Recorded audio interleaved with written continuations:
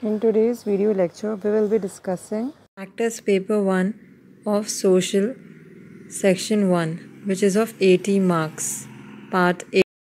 You have to answer any three questions. In this paper also, we will be solving all the questions with options, but in exam, you can solve optional questions. This is for your benefit that I am solving optional questions also. So the first question is mention any two indicators of development. So we know indicators are used to test the development that is if we want to know whether development is happening or not how to check with the help of indicators. So what are those indicators which indicate development? They are nothing but health and education indicators and also income indicators. So in income indicators we have per capita income and in health indicator we have life expectancy at birth and in literacy rate we have education indicator and we have human development index. In that we have whole development of humans. So these are the indicators of development.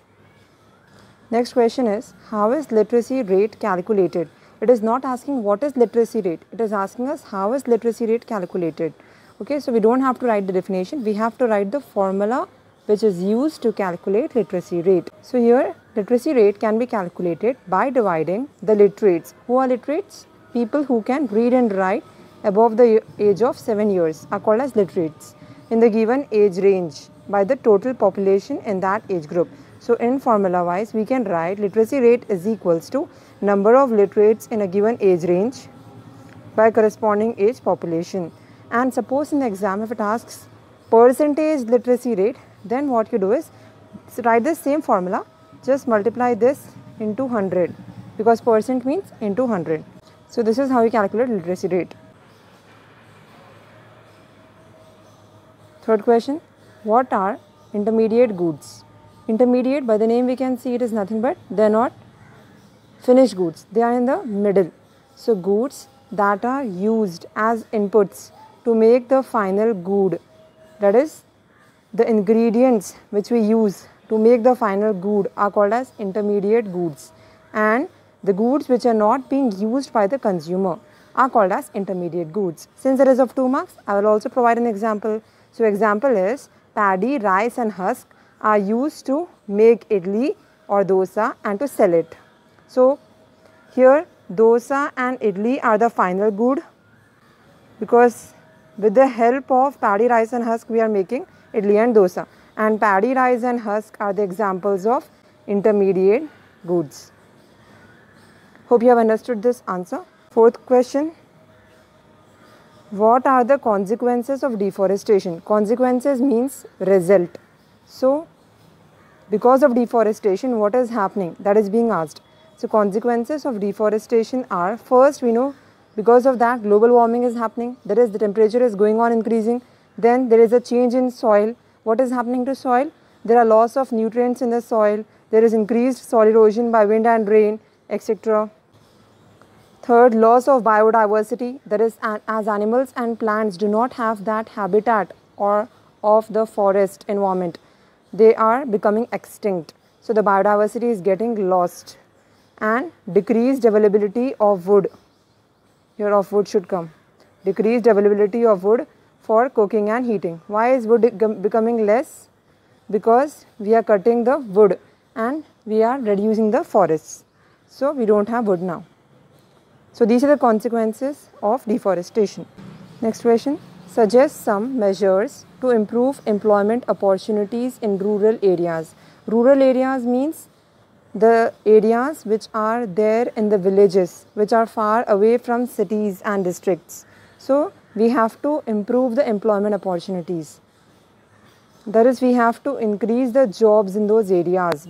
Employment opportunities in rural areas are first, making provisions for education and health services in rural belts and also can also result in employments. That is, if we increase the education and health services in any area, for example, if we increase the literacy rate, if we increase the hospitals in an area, if we provide free uh, services, okay, and if we provide quality services in rural areas, then jobs can increase. Then if we develop the transportation system also, and give transport facility to all the consumers living in rural areas. Then also employment might increase because some people might be dependent on buses or trains which are of low cost for transportation. So if we provide transportation in rural areas, that might be of help. Third is credit from local banks so that crops can be grown every year. So we can take credit from local banks so that we can grow the crops. Fourth is agro-based industries can be set up in rural areas. Agro-based industries means the industries which are working on the principle of agriculture. What is the advantage of agro-based industries? Here uh, it is related to agriculture and agriculture is there in rural areas. So if we set up agro-based industries which can produce some uh, clothes or which can produce some agriculture related kind of goods, then it will be helpful in increasing the employment opportunities as workers can be hired in these agro-based industries. Sixth question is, write any two slogans on the importance of girl education. So, the two slogans can be, education is the only key to empower girls. By educating girls, we can empower girls. And every girl has right to learn, educate girls. This is a basic human right. So, these two proverbs can be used. Next coming to seventh question. Now we are starting part B of section 1. Mention any two features of unitary state. So the two features of unitary state are the centralization of power. That is, that is only central will have power. That is called as centralization of power.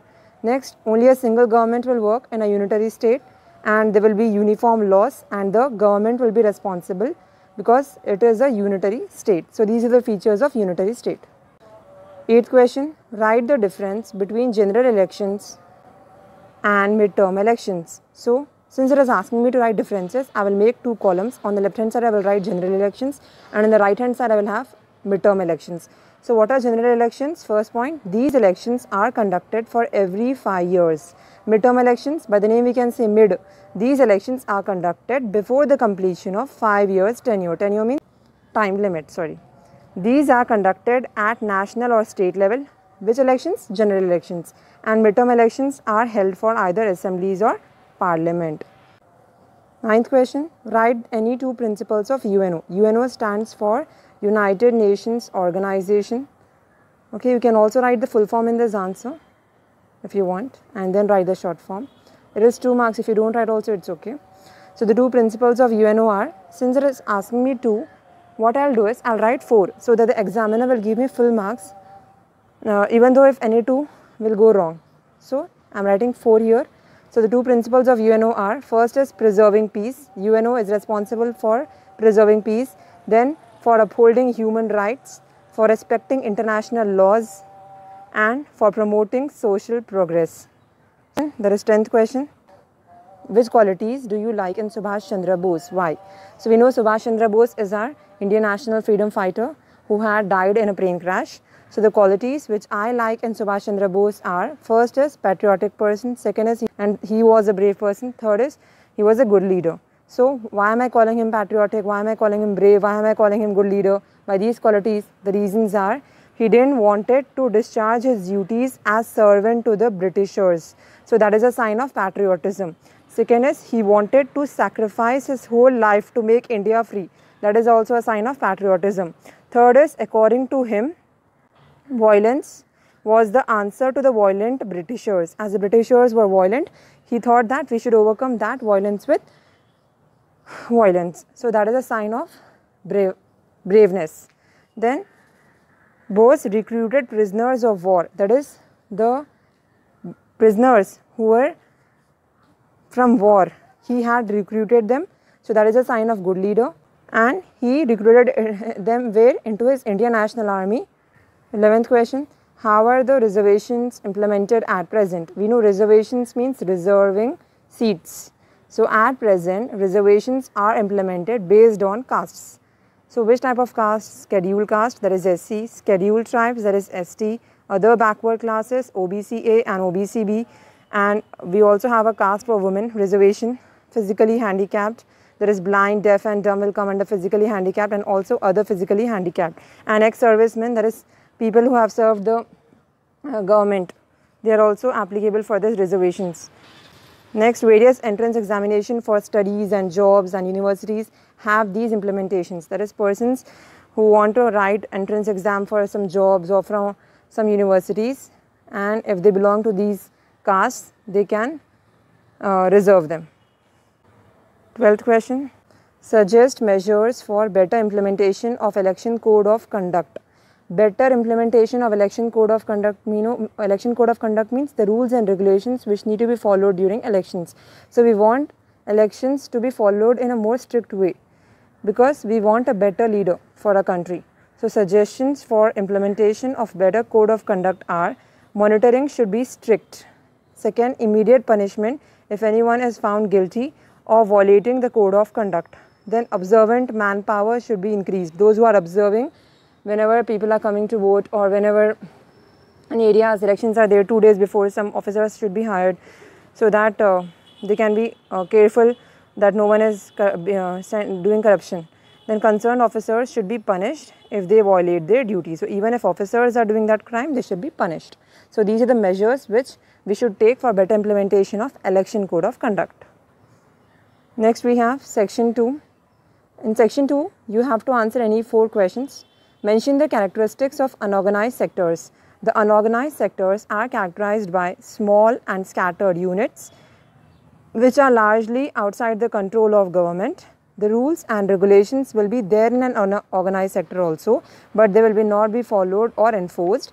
Then jobs are low paid and not regular and there is no provision for overtime, paid leave, holidays, sick leave, etc. Then no job security, people can be asked to leave without any reason when there is less work. When they might be asked to leave during some season, some people may be asked to leave. That is for seasonal jobs. Okay. A lot also depends on the whims of the employer or changes in the market situation. If the market situation is changing, then uh, according to that, people may hire you or people may say you to go. And also, it is all depending on employer, your boss in an unorganized sector what he wills, he can do that. Next question is 14th question. Here we have write a letter to the concerned officer highlighting the election malpractices in your area. Here what did it do? It said you to write a letter to the concerned officer. Concerned officer means related officer who is related to that service. Okay. So we have to write a letter to the concerned officer and we have to highlight the election malpractices. We know letters written to concerned officers are formal letters and there has to be some format which has to be followed for formal letter. So, I am following the format which is being used for formal letter. Let us first see, remember in a formal letter, here you should have the sender's address in the beginning. There is a person who is sending the letter, his address should be written. Then we should have the date, what exam you have on what date you have exam, you should write that date. So here today is 12th April 2021 and then I should have the receiver's address that is to whom I am writing the address. So here in the question it said me concerned officer. So who is the concerned officer who is responsible for elections? Returning officer is the officer who is responsible for elections. So I am writing to the returning officer Khairatabad constituency Hyderabad. Then we should have salutation. Okay. What is salutation? Salutation means respected sir or respected ma'am. So, sir here I am writing. We can also write simply sir, sir, comma. Then we should have subject. What is subject? Subject means on what topic you are going to write a letter. That has to be included after salutation. So, the subject here is election malpractice in your other constituency. Now, subject will be there in the question. Here I am writing, I, the undersigned, is sorry to bring to your notice that many malpractices are being observed in our locality. Full stop. Political leaders are lurking the voters by giving cash, gifts like cricket kits, saris, biryani packets, and liquor. Due to this, I am afraid that the voting scenario might change in a few days. That is because some people are distributing gifts, what will happen? They will say them to vote for a particular party and uh, just to obtain that money or just to obtain that gifts, people will become corrupt and they will vote that party who is distributing them the gifts. I'm afraid that the scenario might be changed in two days or some days as these are anti-democratic issues. Anti-democratic issues means democracy clearly says us that such malpractices should not be followed. So this will be anti-democratic. So I request you to kindly take necessary action and save our democracy. In a formal letter, remember you should have thanking you, comma, yours faithfully. Sign should be written in terms of XXX. Then you should have the name of the sender, that is Raghav. And then you can write the address on the envelope. Whatever address you wrote on the beginning of the letter of the receiver's address, you should write the same address here. So I wrote and that should be in a box because that is envelope and here I should have a stamp. So same address I am writing of the officer to the returning officer, Khairatabad constituency, Hyderabad. So this is my format of the letter which I have to follow. You can take your own ideas to write a letter but I have used these ideas. Read the map given and answer the questions A and B. It is 15th question. So here we can see that there is a map of India and here we have monsoons uh, pattern in which states they are passing. So here it is asking name the states that receives monsoon showers by June 1st. We can see June 1st is coming here. So it is passing through which all states? It is passing through Andhra Pradesh. It is passing through Tamil Nadu and it is passing through Kerala. So what I should write for states? I should write the full form Andhra Pradesh, the full form Tamil Nadu and Kerala for the states that receive monsoon showers by June 1st because here I have 1st June. 15th question B part. How are the monsoons beneficial to India? It means the advantages of monsoon which bring to India, we have to see that. So the monsoons are beneficial to India as first they help in early ripening of mangoes and also other plantation crops in peninsular India. Now we know most of the plants, that is 55% of the plants of India are rain-fed crops. It should be rain-fed, R-A-I-N, rain-fed crops. So thus rain will help farmers in farming because their crops require rain for it. Third is monsoon rains replenish reservoirs and groundwater allowing better irrigation and more hydropower output. Fourth is it is good for India's economy as agriculture is a primary sector in India. So, if more is fed means the crops will grow better and we can sell the crops to other countries and produce more amount of crops. So, these are the reasons of why monsoon is beneficial to India. 16th question Observe the graph given below and answer the questions A and B. In this question, it is showing it is a graph of the armaments race. On the y-axis, you have in million pounds and on the x-axis, you have years. And it is telling by how many times military expenditure increased from 1880 to 1914. That is from the year 1880 to the year 1914. How much has it increased? It is saying. What is increased? Military expenditure. We know military expenditure means it is uh, will be in terms of million pounds. So here we can see in 1880, the expenditure is 132 and in 1914, the expenditure is 397. So how many times means subtract both 397 in 1914 minus 132 in 1880 because it is asking from uh, 1880 to 1914 how much it has increased. So I will subtract 397 minus 132. 7 minus 2 is 5, 9 minus 3 is 6 and 3 minus 1 is 2. So 265 million pounds has increased from 1880 to 1914 and it is also asking us how many times the military expenditure. It is asking us by how many times military expenditure increased from 1880 to 1914 so let us suppose it is 265 means it is very nearer to 300 so by how many times the military expenditure has increased you should if you say 100 200 300 it is approximately increased by 300 so 300 means it will be 3 times because 100 then 200 then it is approximately nearing to 300. So how many times the military expenditure has increased from 1892 to 1914? 3 times. So you should write both the things. The expenditure has increased by 265 million pounds from 1880 to 1914 and then write down it has increased by 3 times 16th B question Why is military expenditure more in the year 1914? From the graph you can say that uh, you have highest expenditure in 1914. Quickly see the question paper graph.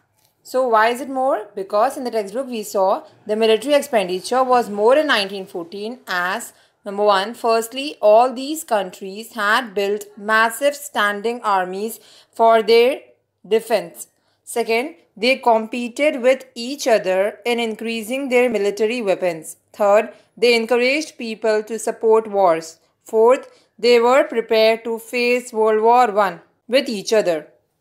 17th question Prepare a pamphlet on the importance of gender equality. So, you have to prepare a pamphlet. Many students might be wondering what is the format of pamphlets. See, remember, pamphlet should be there in a box and then you should have a heading pamphlet and whatever topic is given to you, write that topic below pamphlet and then write some points in such a way that the you want to explain the audience. Like that you have to write. And if you want, you can draw some diagram because you might have seen some people outside the schools and colleges distributing pamphlets and brochures so they're nothing but they are written matter on a piece of paper. So here also we have this format okay? So i have uh, in gender equality means both males and females are equal in everything. So that's why i have drawn this diagram okay? Male is equals to female. So gender equality refers to equal rights in society. First i'm describing the people what is gender equality? It allows both genders to share the same right and obligations. Rights it should be.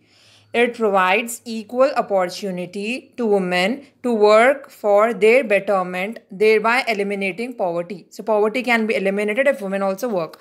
Gender equality makes the country economically strong because there will be no discrimination uh, on the basis of that is gender. That is why we can say that the, uh, the country might be progressing. So, and then what I did is, uh, here I have written equal work deserves equal pay. So, you can also do like this. And in pamphlet, remember how many copies you're going to uh, print that you write on left side. So, number of copies, suppose here I have printed 5000. So, I'm written 5000. And then who is publishing this pamphlet, that should also be written below on the right side. So, here I wrote published by society. You can write anything. So, this is my format of uh, pamphlet. So, remember, be it any topic in the exam, do it like this, follow this format. 18th question Create any two slogans to reduce global warming. It is telling, it is a 4 marks question, and in 4 marks, it is telling you to, to just create slogans. That is, this is creativity. That is why it is allotting you 4 marks for this creativity. So, I know what is uh, a slogan which I can use for uh, reducing global warming. The slogans to reduce global warming are all be nice, save the ice because we don't want the ice to melt. We are thinking and writing these slogans. Global warming, not charming. Protect Mother Earth, it protects all. Save nature, save the future. So, uh, always I say whenever it asks 2, for a safe side, write 4. So, here I am writing 4. 19th question Suggest measures to increase polling percentage in India. What do I mean by polling percentage? The number of people who are going out and voting should increase. We know Nowadays, many people just take holiday and sit at home and relax whenever they uh, have elections and they don't go and vote. So we have to increase that polling percentage because India is a democratic country. We want everyone to go out and vote and express their opinion. So how to do that? The measures to increase polling uh, percentage in India are measures. First, incentives for voters. Incentives means if the voters are given some benefits, then they can uh, be encouraged to go out and vote. For example, some petrol pump owners, retail outlets, malls, etc. can give some discount to the voters if the voters show the ink stain of voting. Second, uh, they may be granted a leave only if they show the stain which they get after voting.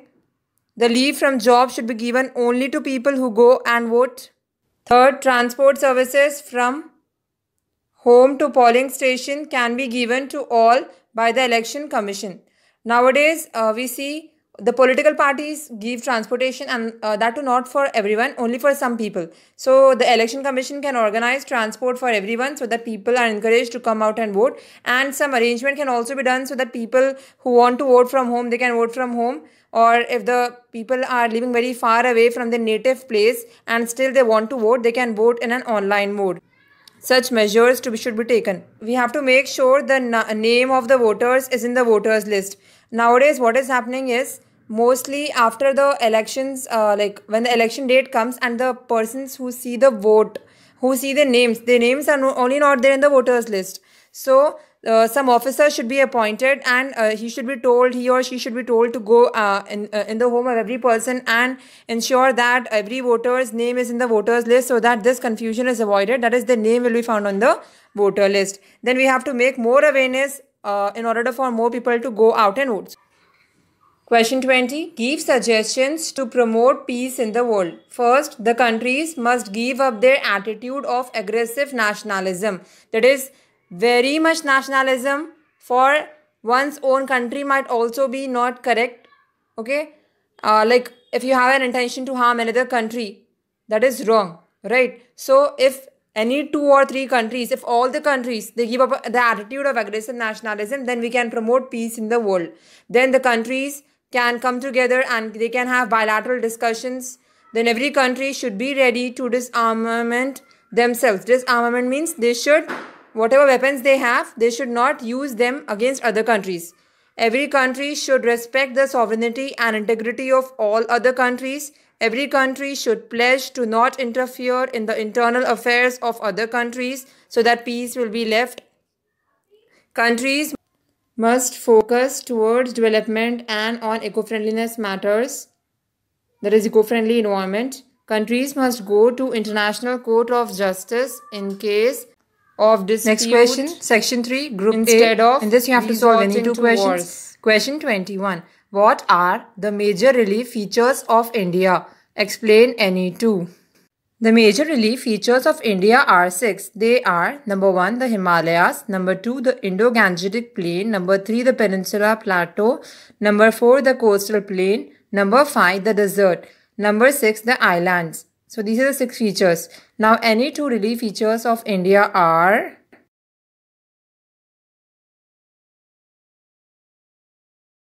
In the two features, I am going to discuss first about Himalayas or Himalayan region. So in Himalayan region, we know they are run in the west to east direction in the form of an arch. That is west to east. West to east like this. They are extending. The Himalayan range consists of three parallel ranges namely the Greater Himalayas or Himadri, the Lesser Himalayas and the Shivaliks. Example Everest and Kanchenjunga. These are formed of the sedimentary rocks. The rivers originated from the glaciers are the perennial rivers. Perennial rivers means the rivers which are continuous. So remember in Himalayas we have perennial rivers. Then the minerals which are found here are very less in this region. Important hill stations like Simla, Mussoorie, Darjeeling, Nainital are found on the Himalayas. The next feature which I will write about is Peninsula region. So the topography of the plateau is slightly tilted towards east. The Peninsula Plateau consists of two broad divisions, namely the Central Highlands and the Deccan Plateau. Example, Anaimudi and Doda Betta. The plateau region is mainly composed of old crystalline, hard igneous and metamorphic rocks. The rivers in this region are not perennial, that is, they do not flow throughout the year. Large amount of metallic and non-metallic mineral resources are found in the plateau. Udhagamandalam as hill station is found on these hills. So here, if you carefully observe, uh, you're comparing them based on the physical feature, based on how, how many types it is divided, then whether the rivers are perennial or not, and whether minerals are there or not, and what are the hill stations there, and what are the types of rock. So on these characteristics, you can learn and write. Okay. See this question 22. Read the following paragraph and interpret. Service sector in India employs many different kinds of people. So you have to read this very carefully and understand and write your understanding.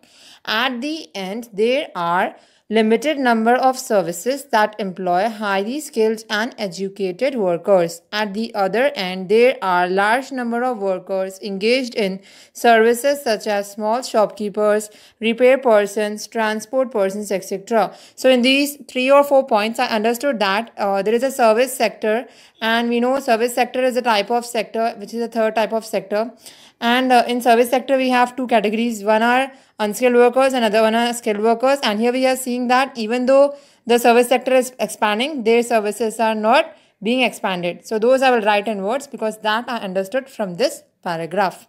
You can also read and understand this paragraph. So answer 22 While service sector has grown, all service sector activities are not growing equally well. All types of workers are employed in service sector ranging from highly skilled workers and educated workers to small shopkeepers, repair persons, etc. All type of workers are there in service sector. That we got to know from the paragraph.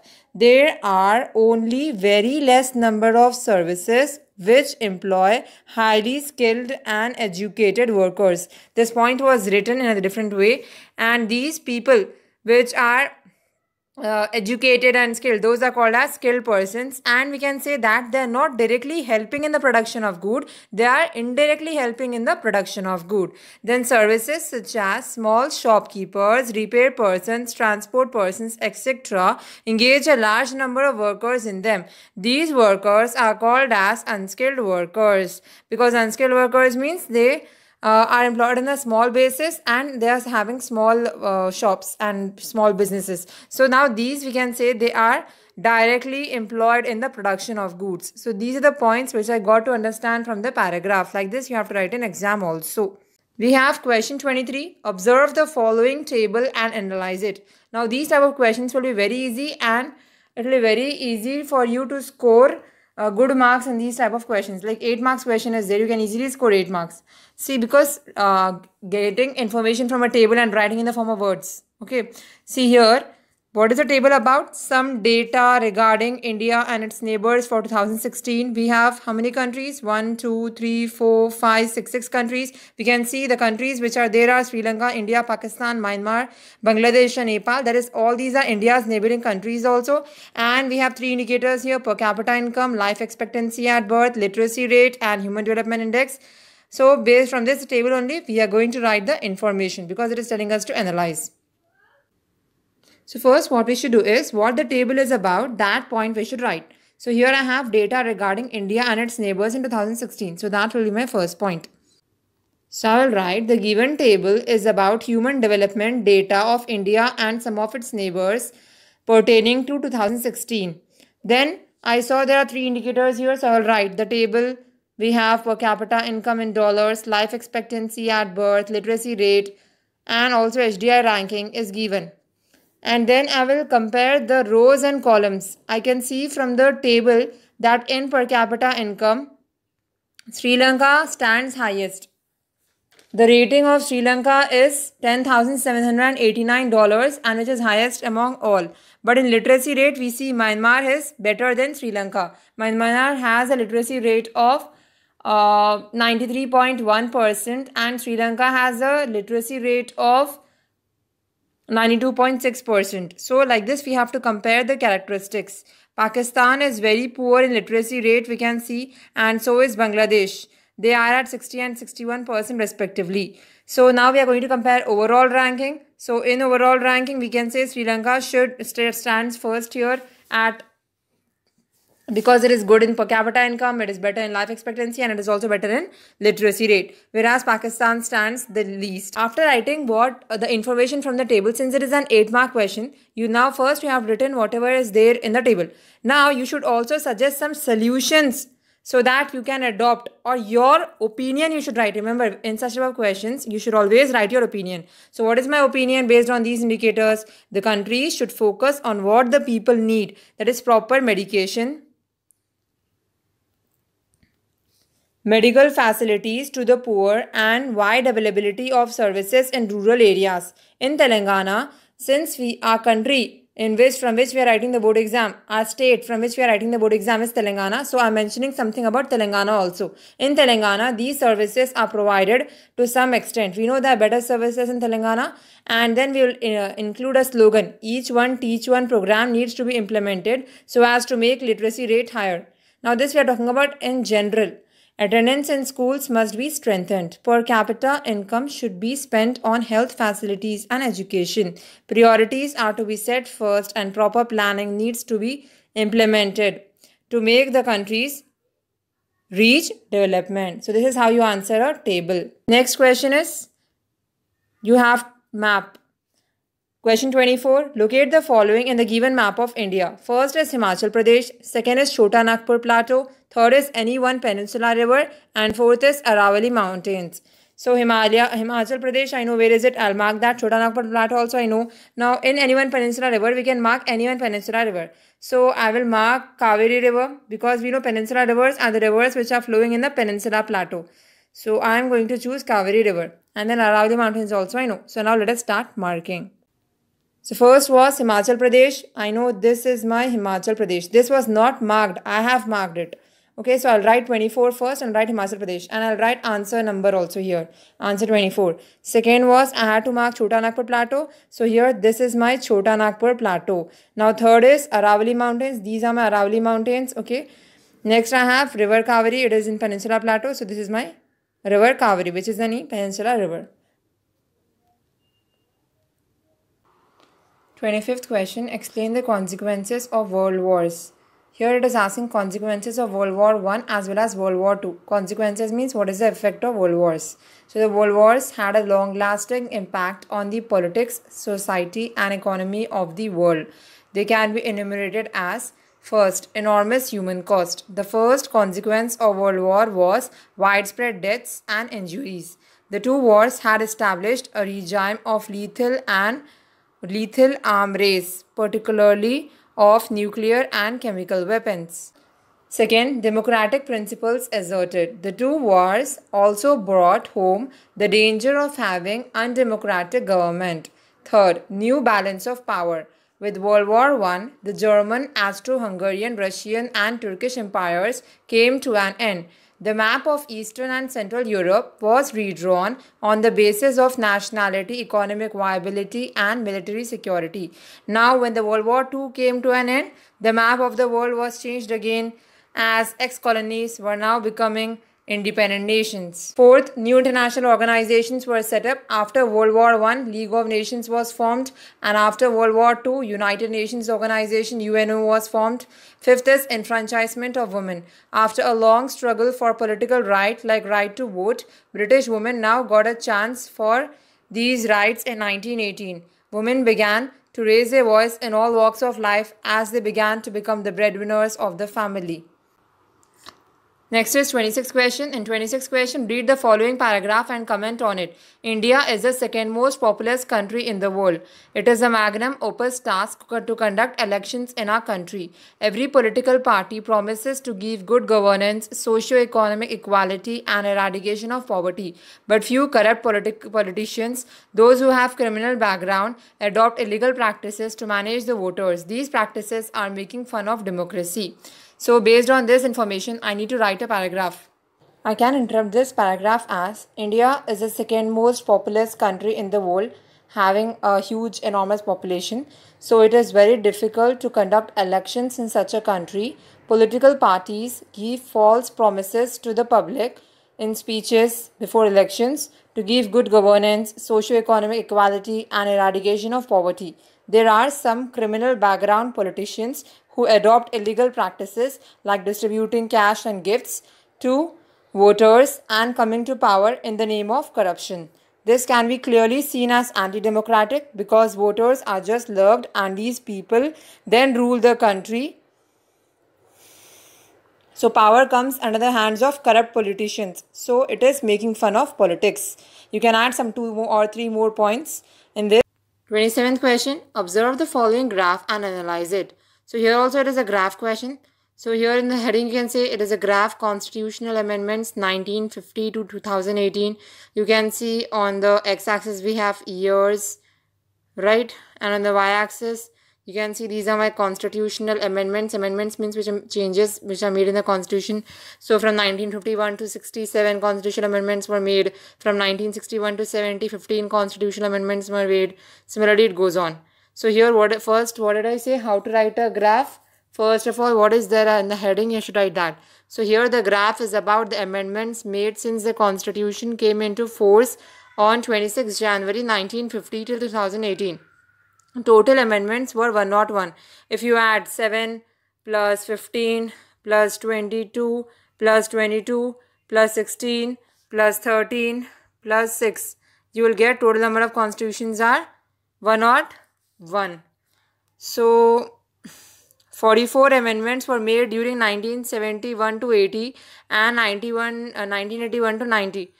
If you see over here, when we compare from 1971 to 80, 22 were made and from 1981 to 90, again 22 were made. So from 1971 to 1990, totally 22 plus 22, that is 44 amendments were made. And the graph is given decade wise. Decade wise means it is taken for 10, 10 years because one decade comprises of 10 years. Our constitutional makers were aware that laws will have to be amended from time to time. Thus, it laid down the provisions for amending the laws and the articles in the constitution as well.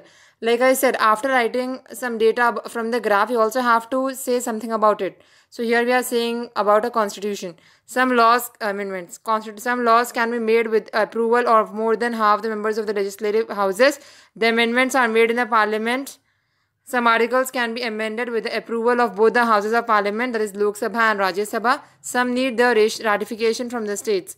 Finally, the amendments are approved by president then the amendments come into force. So since the whole table is about amendments, we're talking about constitutional amendments. Amendment means to bring some change in the existing law of the constitution. Generally, an amendment is necessary on the basis of public needs.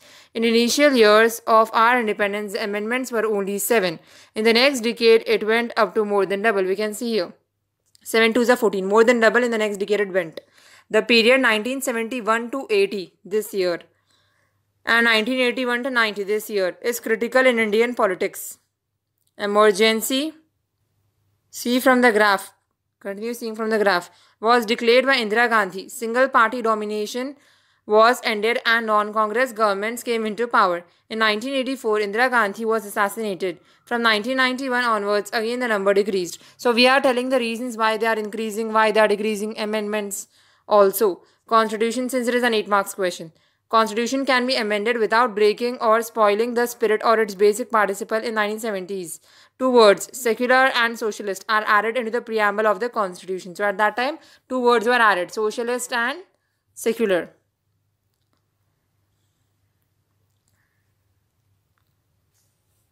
In two words, secular and secular are adopted in the preamble of the Constitution. According to the judgment of the Supreme Court in the case of Kesavananda Bharati case, some principles cannot be changed. Many a times, Constitution is being changed only for the sake of political benefits. It is a criticism on amendments. The true spirit of the Constitution cannot be changed. Constitutional amendments are necessary for public interest. So if the public is demanding, then we can change the constitution it is telling.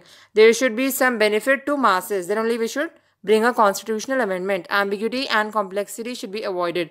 About 100 times the constitution is changed, it means the original one is getting its shape changed. 28th question. Locate the following in the given world map. And so now already we did one question in part A on Indian map. Now we are going to do a question on world map. We have to look at any one allied country. I am choosing allied country as USA. Turkey I have to mark. Italy I have to mark. And China. You know this is my USA that is allied country. So I'll mark here allied country. I'll write here 1 okay according to the number and I'll write my answer number. Answer number 28 here I should write. Then I have to mark China. I'll mark China here. Then here is Turkey. I'll mark Turkey. And then here I have Italy. I'll mark Italy. Like share subscribe. Click that bell icon